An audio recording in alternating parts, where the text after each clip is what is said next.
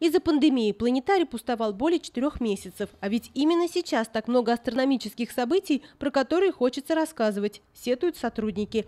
И, наконец, здесь готовы открыть двери для посетителей, правда, при соблюдении необходимых мер предосторожности. Разработаны они в соответствии с требованиями указа губернатора от 13 марта.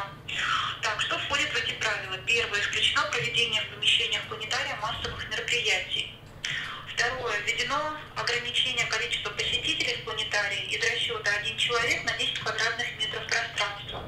То есть у нас допустимо не более 5 человек. Обеспечивается соблюдение социальной дистанции на расстоянии не менее полутора метров. Мы очень рады будем посетителям.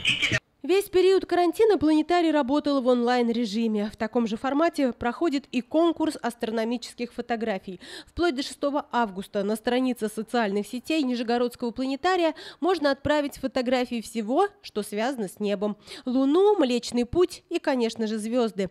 Тем более, что сейчас отмечается пик активности летнего звездопада. Чтобы увидеть, как одна за другой с неба падают звезды, нужно в ночные часы смотреть в южную часть небосвода. Только и успевай загадывать желания.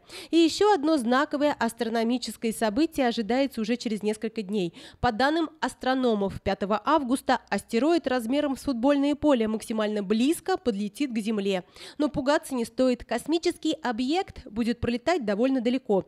Примерно в 10 раз дальше, чем от Земли до Луны. Опасности для нашей планеты такой астероид не несет.